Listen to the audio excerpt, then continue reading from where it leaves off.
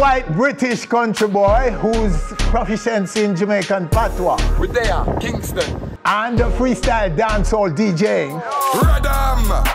No boy can take man for Alan, no no Nick Cannon. Earned him mainstream celebrity status in the UK and beyond. He goes by the name M.R.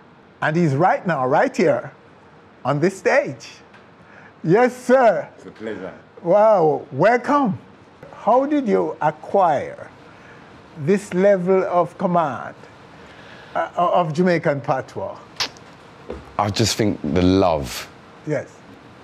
is just, that's the main thing. It's just the love. When you love something so much, Yeah. you know, it's inevitable that if you, if, if you love something and you work towards something that you love, Mm-hmm. you're just going to grow and grow and grow. And because you know, we, I can definitely sit here and talk in, in my English accent, but when the man them sing upon the road, they're different thing. What got you first? Right, so- the music or the or the or the chat. Right, so when I was very, very young, um, my elder, elder sister, who's, who's quite a bit older than me, she was uh, in a relationship with somebody from Jamaica in England. Yes. So our family was always around, um, you know, when I was young, when I was like, I mean, like 9, 10, uh, we'd, we'd have Christmas at our house and then we'd go to like my sister's partner's family. Yes. And uh, everyone was Jamaican, so I used to like steal their lyrics and just take them back and just kind like like use part of it and then change a little part of it and add my little part to it. So even when I really, really started, started, you know, DJing, it was it was my brother-in-law's I was kind of stealing the lyrics from. So that's where, where the influence was straight away, right from when I was like nine, ten. So when you met them, um, you were an aspiring artist already, or, or what? The- the- the family? in music at that time? Yeah. I was just like kind of started. If anything, they give me the influence Okay. to, to start. So you were triggered by the, the sound of Right. dancehall music. Hundred percent, because that, that, that time there in England, uh, drum and bass and jungle music was very, very popular, and that was uh, heavily influenced with with, Okay. with with dancehall music at the time. So it was already in the kind of culture that, that was happening at that time. A lot of Jamaicans in England, so a lot of my friends were Jamaican same way, and uh, you know. Growing up, we were just doing music, and I was just trying to make a way. And I, the amount of times I, I, I flew to Jamaica, just on like a, just a hope that um, something was going to happen for me, not knowing what I was doing, not really having any connections, but just the love for it. And I just, I just continued and continued to do it. And then one day, I was just sitting down, and I had a one song, and I think it was the first time I got like a little bit of money for a dub plate.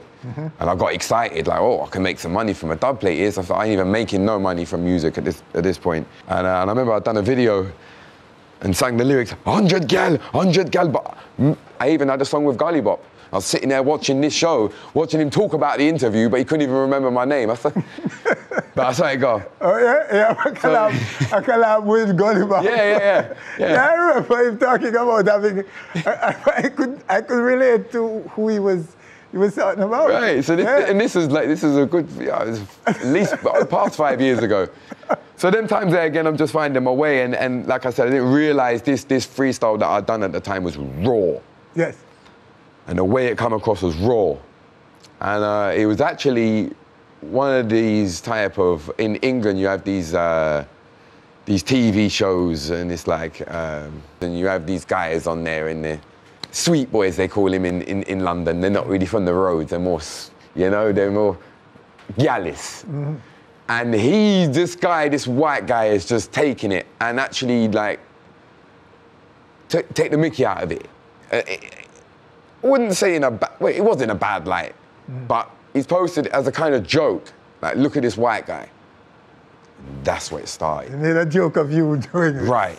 And And it was depressing at the time because I'd been doing music and I'd been doing stuff and in it, for that time I was like, like I, I am a reggae and dancehall artist. Like that's what I do and I'm, I'm sitting here now and I'm getting millions of views and there's people laughing mm-hmm. and I'm like, I don't like this and it depressed me. I felt like, I, what, what do I do now? Do I not be who I am anyway Okay. and change because these people are laughing at me? Mm-hmm. And the blessing was three days after that happened, I flew to Jamaica. Mm-hmm. And I started getting recognised a little bit, but you know, not on a massive scale. And I and I and I, and I went on TVJ, on Sunrise TVJ. And there mm-hmm. was three artists, and you, you, you know, and, and I won. I won the competition. Yeah. That gave me a good for myself, not what anyone else was looking at it, but that for me, that gave me a strength. I said, you know what, Jamaican people are on my side, and this is the music that I'm doing. So I don't care who's laughing at me in England. Okay. I'm, I'm happy, I'm, I'm content. So at that time, you had a lot, a lot of big, big, big channels in, in, in England, uh, Unilad Sound, and they, you know, they had millions and millions of views. And they was contacting me, they wanted this freestyle from me. And because I didn't like it, I wouldn't give it to them. So I was kind of like holding it. So I flew back from Jamaica after a couple of weeks with a, with a more of a energy like, right, no, I can do this, I don't care. Like, and, and at that time, a few things started happening between that, like contacts from DJs from BBC 1Xtra, and a couple of the bridges saying, no, you're boss, brother. Mm. You're boss. And I don't feel like that. So it's certain, certain things are making me feel a little bit better about the situation. So I got back and I said, right, message the people said, I'm ready. You want it? I'll send it to you. Sent them it, half hour later, boom, taken down, copyright. All right, no problem. I said, I'll give you the next one right now. Hmm. put, the, put the camera there, just stood back, done it, sent it to him. I said, listen, you, if you want it, you better take it, because I'm going to post it. Yeah. And them times they are, I'm getting views, because everybody's looking at me at that time. Hmm. I give it to them, two million views, three million views, four million views, five million views. I think I'll just watch that one post alone go up to like eight million views. And that's when people started getting involved. And the dancehall industry in the UK started recognizing, and maybe across the borders a little bit. And um, off the back of that, when I was going viral from that, there's a platform in the UK called Black Box, which is kind of like that's where all the big artists kind of start on.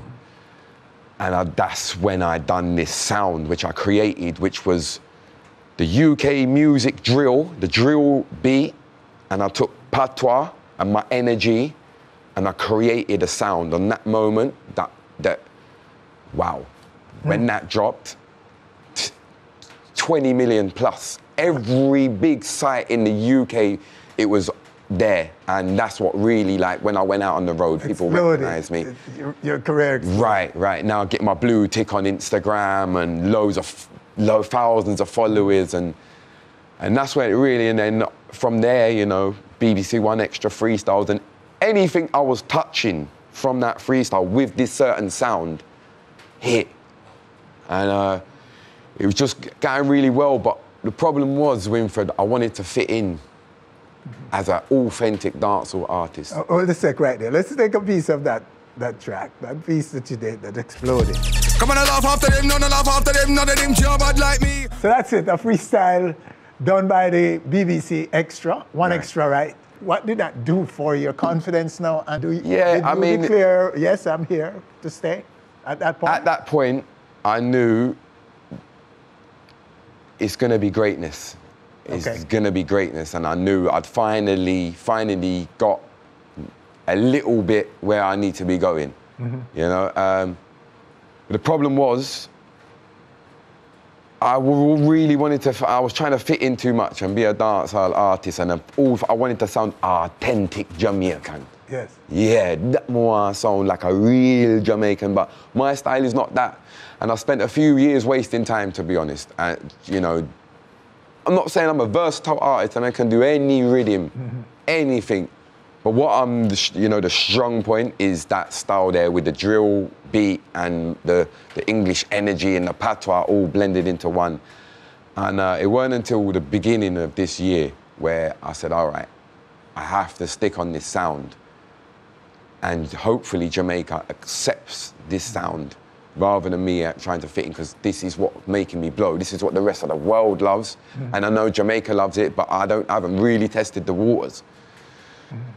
And uh, w- when I done a recent, the recent one, Radam, when I posted that, Popcaan reposted it, but not just once, like a good few times. Yeah? Yeah, the sister man love it tune.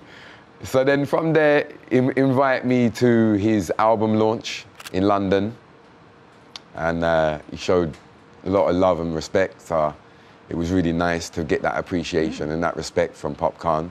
You know, we don't need to talk. I you know who Popcaan is, so that was amazing for me. And then just before I was uh, on this trip, I messaged him. I said, "Pop, you know, something, uh, I'm forward Jamaica next week." And he said, "Me there at your place. I've got a show tomorrow. Forward and bon off Peace Eye Shore." And I said, eh, "All right." So I went down there, and I, I was presuming how it usually worked in the UK. This was in London, Bristol. Bristol. Yes. Usually, how it works, the, the up and coming artists or whatever, they would perform 1st mm-hmm. And then kind of like the show closed a little five minutes, and then the main act pop kind of forward, and that's it. No, he brought me out on set. Mm. Big up the unruly God every time, isn't he? And the response you got? Oh, it's crazy, you know, because I think, you know, UK knows me. So you gotta think, you know, at this point when I turn up, when I'm walking through the crowd to go on stage and I stand on that stage and he brings me out, they know me. They're my people. I'm like, they're, they're so happy to see me on stage. It's mad. They're just, ah, it was mad because I'm, they, they know. And at that point, you know, people have seen me grow and they know what it is. Um, but for Jamaica, it's definitely done something. We're, we- we're just continuously going viral, and these things all put together. Since I've been in Jamaica, I don't think I've been to an area where I haven't been recognized yet. Ah, in Jamaica. Yeah. Okay. What about Jamaicans in the UK? They love me. Yes. Yeah, yeah, yeah. We got a, good- we got a good relationship. Any area I go that is a Jamaican predominant area, that's my place. So it, the, the argument that you know white people are taking the music and all over the music and they- they're taking over reggae and dancehall. Right. How do, do you get that? I understand, of course. You can't, you can't, you can't, you can't. Um, you know, but I would like to say, and that people might think I sound ignorant, or they might say, "Ah, but everybody says that." I was like, I mean, I different you, Mr. Williams. And I different you because not only do the music, it's a separate conversation we have. I also run a YouTube channel where I teach people how to cook Jamaican food, and I teach people about Jamaican roots, deep into the roots. So that's what I do as well, and uh, I feel like personally that's my that's my part of giving back to the culture. You know, not just doing the music and the hype and whatever. You know, taking that time to really show people like everything about Jamaica. And if you watch my YouTube channel, you can see I love Jamaica, and they you you know you can see the love for it. And I think there is a difference between you know I'm in the streets with Mr. Williams. I'm in the streets. I'm I'm I'm fully out. I, I don't think Jamaicans really care about anybody stealing the music. No, no, I wouldn't say they- what there they are care voices out there. There are voices out there who would say Yeah. And Jamaicans welcome foreigners. Yes, to, yes, yes. to our music, to Yeah, our space, to our, to our island. Music, my friend, has no boundary. No. Because those who consume it, I always say, will always perform it. If your music is truly loved and embraced by any race, any culture, Right. they will also perform it. And I think people like to see me in the streets as well. So they say, so the you, the, the man I do the music, but you see him love Jamaica, and he's. I think that's the only point of like, you know, one Jamaica's a small country, Yes. and from what I've learned, they're very proud people. So for me now, anytime I've come across anybody from a Jamaican background, they embrace me mm-hmm. because they love that I'm what I'm doing and they just love it. Yeah. You know, but I think there is a point of certain bands or artists that are out there that are doing reggae music and they're not really in the culture. Mm-hmm. Yes. You have to be in the culture. You have to be here. Yes. You have to be on the streets. You have to be in the parties. You have to make the, the normal people on the side of the road see you and say, Right. you know what, are you there? That, that's it. See him, and we, and we, ch- we talk to him, and then rate me. And so I think, I think there's a point, you know, I don't know too much about them, but the, the, the band that won the Grammy award, award Soja. I don't know too much about them. I can't talk if you don't know nothing about. But are they here in Jamaica? Are they in the streets? Are they in the garrisons? I don't think you are. And I think that's the problem. I think that's where the problem lies. Because, you know, You have to be in them places there to show. You got to show. I want this dancehall music, reggae dancehall music comes from the garrison. I learnt this. I'm in English. I learnt that. I know that this comes from ghetto people, mm-hmm. poor people. You know, so you have to their own them and make them embrace you before you can start. Because when I'm in England, although I know I've got a lot of white fans and a lot of other race fans, I know if I go if, if I reach to a, a predominantly black community, I know I'm going to get recognised straight away. Yes. I know that. Anyway, there's black people, I'm going to get recognised. I know my market, and I know what type of white people listen to my music, yes. and what type of, you know, not obviously as a whole, but you know, like as you could, if you if you had to narrow it down. That's what interests me about the band.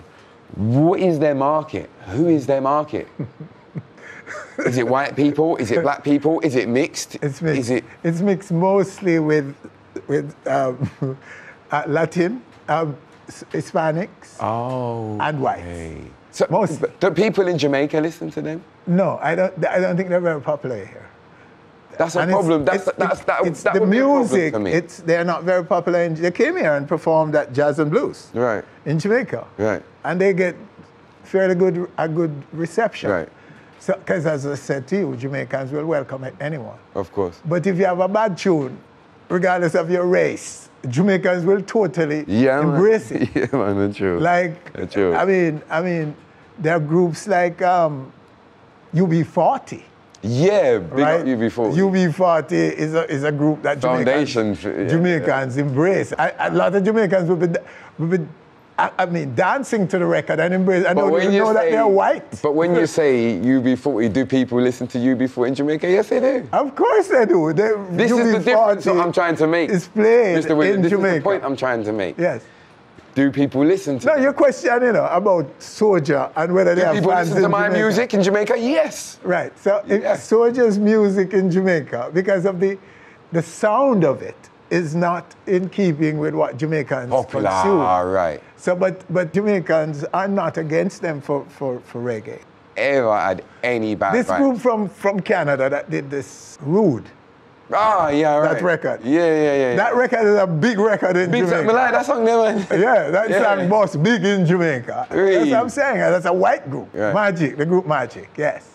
So, so, so I'm saying this Jamaica is not into this racist, anti this, anti no. I've never, I've if you I've, drop a record, brethren, regardless of your race, Jamaicans are going yeah, to rock it, to bad. it. It's a tough audience, Jamaica. Right. They're tough, yeah? So when they embrace you, you are good, Bridget. Yeah, man, really. Period. Really? There's nothing more to it than that. 100%. You drop them a good record and they're they're on to you. Music. You know I mean? And music, yeah. Yeah, yeah I've seen it. Like I said, I can only talk personally, and, I, and I've only ever been embraced, and especially when I'm in Jamaica. Yeah. It's even more of a love and embrace. Yeah, man. Me and Jamaica have a good relationship. That's right. I love Jamaica Jamaica loves me. Okay. That is Good for you. so where are you taking this? I yo to the to, to, to the sky and beyond, Mr. Williams. So um, I think you know, at the moment, I think what I need next is uh, you know I've got hit songs. Mm-hmm. I've got hit songs which we go out on the road and people know the lyrics for. So I think uh, you know, um, but really just really hit the mainstream with yes. this sound that I've got and. Uh, you know, just bring through my my group. So because my manager is uh, is YGP, that's my manager, and he's based from Kingston. Uh, and there's a group of us as well, um, artists Izel, Falco the General, uh, George P, and there's a there's a good few you know artists in the link, and we're all a one team. All right, so you're going to do a little performance for us, right? Yes, sir. A little freestyle right here on our stage. That right? is it. So I'm going to take away all of this and Right. this stage brethren. Ah, Bless up for that performance. See? White. On stage, Mr. Williams, this is where we change up the accent. yeah, breezy music. Big up yourself, one YGP. Hear that? Spanglers, Love Lane, Matches Lane, Grand Spin. You know anything go? UK in the building. Watching them, man. Yo, Radam. The boy can't take man for Alan, no, no Nick Cannon. We drop bombs like Saddam, the boy there. The boy there, Saman. Two shot from the cannon. Radam, Radam. Bad man like Adams, big 4-5 and knock you off balance. I don't do banter, not any gal can't take man for Santa. Kick a man down like Blanca, when they from there, yo, that's where they find. New cycle money, you're straight from Atlanta. We stack money like a banker. You know when the man there is, gal, all else how you smell like. Just look at that, no gal can't take man for Google back. About my meeting, yo. I gotta wind up more do that. Fully done, so me don't rebooking that. Uh, 2023 there, no looking back. Me love it with the gal them uh, ah. I mean love it with the gal them sitting fat. Uh, brand new Ralphie, you're not killer, you're not bounty. You put lyrics, lines that county. We have the link, the link, you can shout me. Of them doubt me, blaze up the fire, no, they can't. Enough of them move slouchy, burn to bridge them and they can't shout me. Cycle like Bonnie, you want feature, but run money. You're not gangster, you're just funny. Yo, you don't know the things that man on stage, big up yourself, man. M the I in the building. That is it. What yours?